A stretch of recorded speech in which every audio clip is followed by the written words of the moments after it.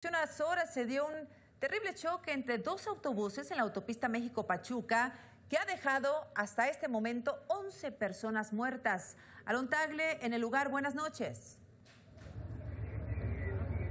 Azucena, muchísimas gracias. Muy buenas noches. Y en efecto, bien lo refieres, es un percance bastante fuerte, aparatoso, el kilómetro 16 más 200 de la autopista México-Pachuca con dirección a la Bella Airosa. Aquí tenemos las unidades destrozadas, este autobús que nos dicen que corre hacia la zona eh, pues de Pachuca, hacia la zona de Teotihuacán, y los otros dos autobuses al frente que tenemos también de la línea de Teotihuacanos. En este autobús, en el que vemos con la mayor destrucción en su carrocería, fue donde al interior tuvieron que sacar seis personas, mientras que otras cuatro, entre ellas eh, un un pequeño de tres años de edad yacían sobre el pavimento, eh, pues desafortunadamente paramédicos certificaron el deceso de este pequeño y desafortunadamente de las otras 10 personas más que hacemos referencia ya a continuación. Hubo 17 traslados, de estos 17 traslados, tres personas iban de la primera prioridad, es decir, demasiado, demasiado graves, trasladadas a diferentes hospitales del Estado de México. Importante también señalar que eh, de todas estas personas fueron también 30 personas atendidas, las cuales no necesitaron el traslado hacia un hospital de, para su valoración médica importante también, Azucena, que dentro de todo esto,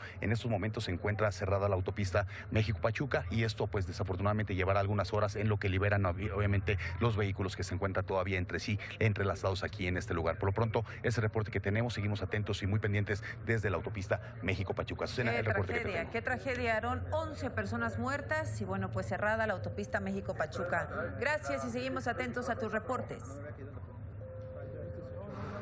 Muy buenas noches.